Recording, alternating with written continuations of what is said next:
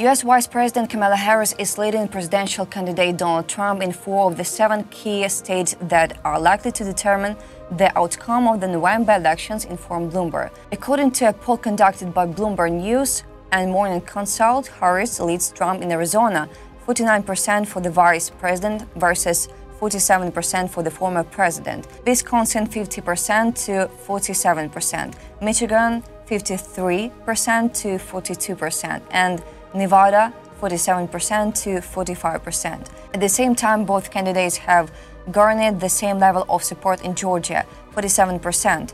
In the remaining two swing states, Trump is ahead of Harris in Pennsylvania, 50% to 46%, and North Carolina, 50% to 46%. Overall, the current vice president leads the former president by one percentage point. Harris has 40 8% of the respondents support, while Trump has 47%.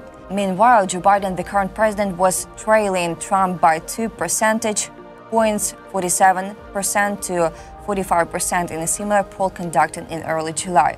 This poll showing Harris's lead over Trump was conducted from July 24 to 28. Nearly 5,000 American voters from seven states participated in the survey.